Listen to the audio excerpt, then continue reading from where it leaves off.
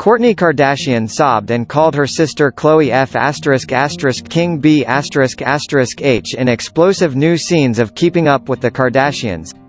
The mum, of three has been fighting viciously with her sisters, including physical altercation with Kim, 39, where they kicked and punched each other. And in the latest shocking footage from the show, the stress appears to become too much for Kourtney, 40, and she broke down in tears. Their argument begins with Khloe, 35, telling her sister, if don't give you what you want, you blow up and you're like, oh, you're stupid or you're disloyal. Kourtney asks, when did ever say you're stupid? Khloe replies, don't have the date and the time, but know for fact, this isn't also gonna get us anywhere, interrupts Kourtney, arguing the pair of them were not helping. Kim interjects, maybe it would be productive for Khloe.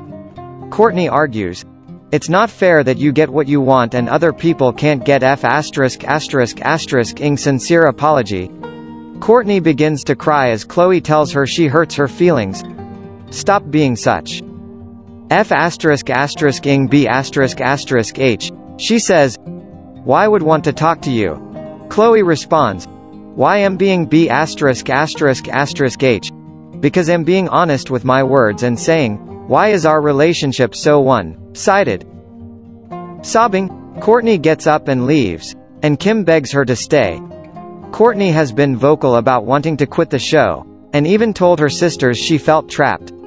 Last week fan asked her why didn't she quit the show after complaining that she didn't want to be on for it so long and Kourtney said she had actually left.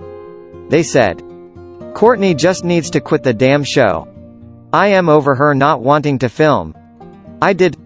Bye. Kourtney dryly responded.